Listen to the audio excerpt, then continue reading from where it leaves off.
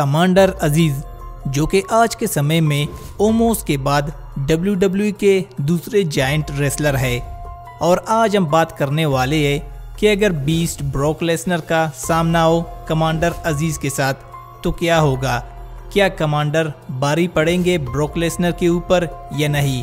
अपने favourite wrestler को vote करने के लिए लिखे ब्रोक लेसनर, अगर आप ब्रोक लेसनर को जितवाना चाहते हैं। कमांडर अज़ीज़ अगर आप कमांडर अज़ीज़ को जितवाना चाहते हैं, सो हे गैज मैं हूँ आमिर बलोच और आप सब देख रहे हैं रेसलिंग ज़ीरो ज़ीरो सेवन दोस्तों, कमांडर अज़ीज़, जिसे पहले लोग डाबा काटो के नाम से जानते थे, और कमांडर सन 2016 में ही डब्ल्यू में आए थे।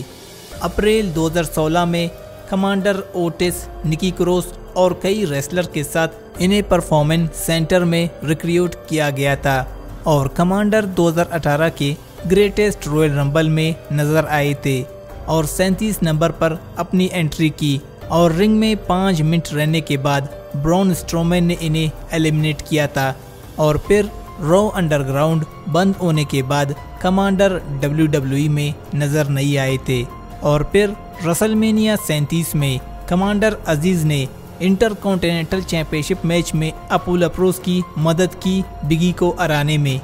और अभी तक डब्ल्यू के रिंग में अपोलो अप्रोस के साथ कमांडर अज़ीज़ भी नज़र आते हैं।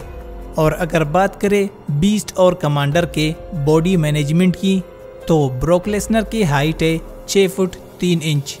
और वेट है 130 केजी। और बात करें कमांडर अज़ीज़ की बॉडी मैनेजमेंट की तो कमांडर की हाइट है 6 फुट 9 इंच और वेट है एक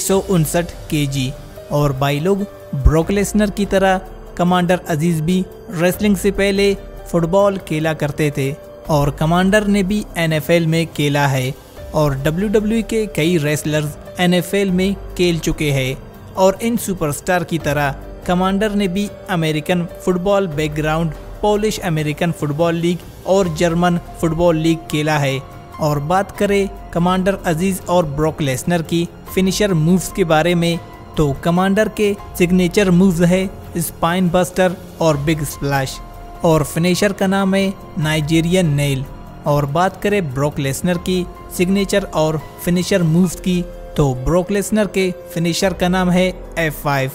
और इस हफ़्ते के मंडे नाइट में जाइंट ओमोस ने कमांडर अज़ीज़ को पिन किया था। और अगर बात करें कि अगर कमांडर अज़ीज़ का मैच हो जाए, बीस्ट ब्रोक लेसनर के साथ तो इस मैच में ब्रोक लेसनर के जीतने के चांसेस काफ़ी ज़्यादा है। और भाई लोग, वैसे आपको क्या लगता है कि अगर फ्यूचर में ब्रोक लेसनर का सामना हुआ कमांडर अज़ीज़ के साथ तो कौन किस पर बारी पड़ सकता है? हमें प्यारा सा कमेंट करके ज़रूर बताना। और इस वीडियो को लाइक करना, चैनल सब्सक्राइब करना और बेल आइकन तब तक के लिए अल्लाह हाफिज़।